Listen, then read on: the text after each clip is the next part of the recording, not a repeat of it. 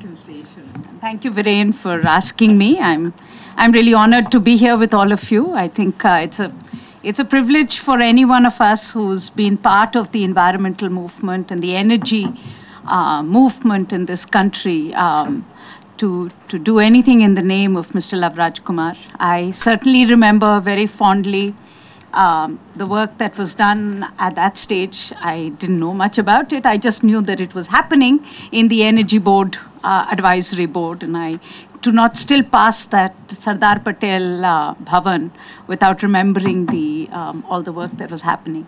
And I was also on the board. you were also on the board. Well, as I said, I have these fuzzy memories of some sort of, you know, people talking about firewood and cow dung and all sorts of other stuff at that time, and things that we we um, we seem to have forgotten over the years, and the the rigor with which we understood the energy and the the, the economy of uh, people is something that we I think need to remember once again.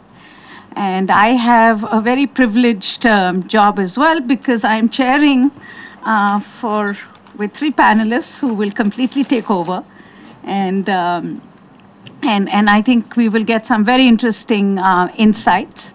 This is a good time, Mr. Ishwaran, that you have called for this because, as you know, the biodiversity COP begins uh, the following week. Um, We had in mind when we fixed this. no, wonderful. I think it's a very good uh, thing. We, you know, hopefully we will get a good curtain raiser of what are some of the issues um, at uh, in Hyderabad in um, in the weeks to come, two weeks now, and also some of all our concerns about how the the um, discussion on biodiversity conservation must go and where is it not going right.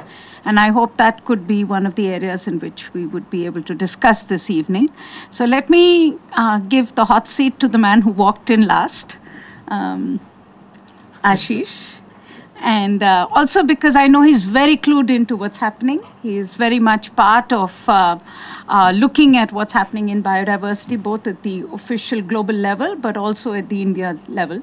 So I think it would be uh, very good to hear from you first, Ashish.